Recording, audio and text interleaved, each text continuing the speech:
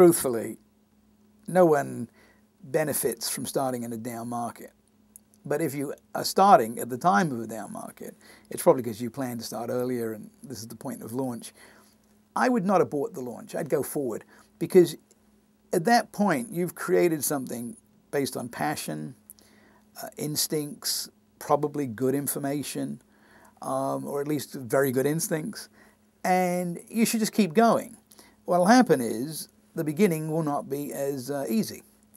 Um, it is somewhat uh, offset by, yeah, you get talent that perhaps wouldn't be available. Um, but whatever you're doing, as long as you have real passion for it, and as long as the people you do business with see that passion and are intoxicated by it at its ultimate, then you will succeed. It'll be harder in the beginning, it's a bumpier takeoff. Um, sometimes, unfortunately, it's too bumpy and you crash, and hopefully you walk away from the crash and go build another plane. But um, I think it's not like it's a better time to launch. It's also not that terribly much a worse time to launch. It's just that by the conventional wisdom, which is always by definition utterly short-sighted, everybody thinks, oh, this is a terrible time to launch. I think there's no such thing as a terrible time to launch if you have the right idea for the right time, um, environmentally and societally.